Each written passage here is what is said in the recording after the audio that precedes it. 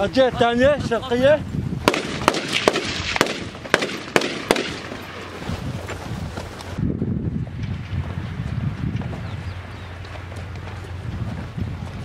بسم الله الرحمن الرحيم الحمد لله والصلاة والسلام على رسول الله نحن في معسكر الشهيد عبد الباسط الساروت نستقبل المنتسبين الجدد للجيش العزي في إطار الجيش السوري الحر نقوم بتأهيلهم ليكونوا مقاتلين ثوريين جيدين. ينحصر التأهيل في ثلاث مجالات. المجال الأول هو التأهيل البدني لتعليمهم على قدرة التحمل العالي ورفع لياقتهم البدنية.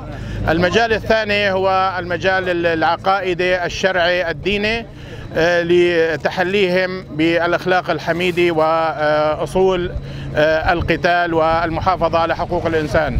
والمجال الثالث هو المجال القتالي آه، حيث يتعلمون استخدام كافة أنواع الأسلحة إضافة إلى تكتيك خوض المعارك في المدن وفي القرى وفي المناطق الجبلية.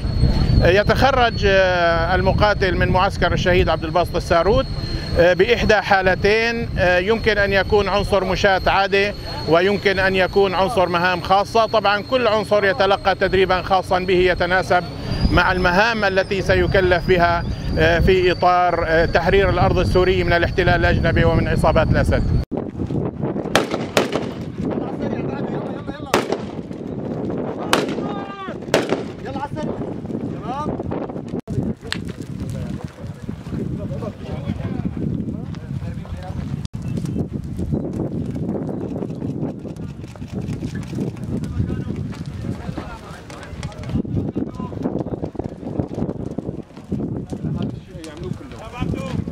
نحن في معسكر الشهيد عبد الباسط الساروت التحقنا في هذا المعسكر للتدريب وتعلم بالأسلحة المتوسطة والخفيفة.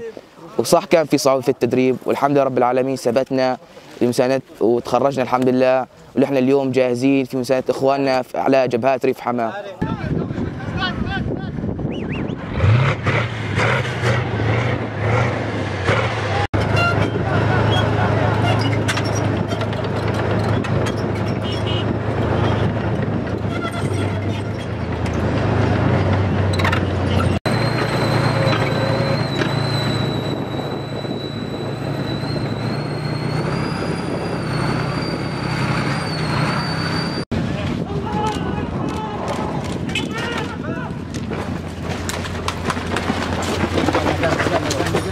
شكل شكل